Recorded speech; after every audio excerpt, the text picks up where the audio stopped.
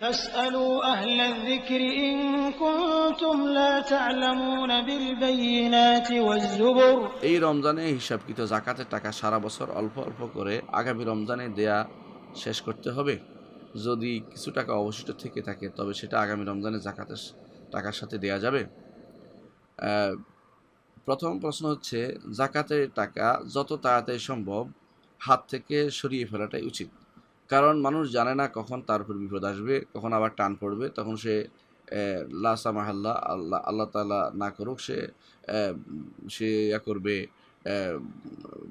জাকাতের টাকা খেয়ে বসবে বা নষ্ট করে বসবে। এই জন্য উচিত হচ্ছে জাকাতের টাকা যত তাড়াতাড়ি সম্ভব হস্তান্তর করে দেয়া।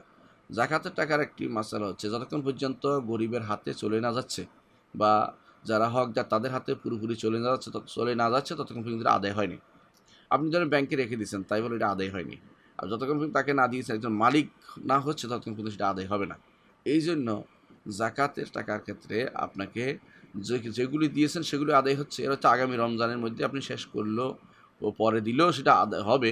কিন্তু মানুষের অবস্থা দেখে আপনার যত তাড়াতাড়ি সম্ভব মানুষকে এমনভাবে দিবেন যাতে তারা অভাব থেকে মুক্ত হতে পারে। তাদের অভাব আর না থাকে সেভাবে দেওয়ার চেষ্টা আপনার করবেন। কারণ অল্প অল্প দিচ্ছেন আপনি ফকিরের মতো করে। এটা দিয়ে না তাদের উপকার হচ্ছে, না তাদের অভাব দূর হচ্ছে, তা না না তারা ভালো কোনো কাজে লাগাতে পারতেছে। তাহলে আপনি জাকাতের টাকা ফকিরদের মতো ওই যেভাবে ভিক্ষা দেন সেভাবে না দিয়ে জাকাতের টাকা দিবেন। যেভাবে দিলে তারা তারা তারা অনেকটা তাদের অভাব কাটিয়ে কিছুটা তারা স্বাবলম্বী হতে পারে, সেভাবে দেওয়ার চেষ্টা ভাবনা চেষ্টা করবেন।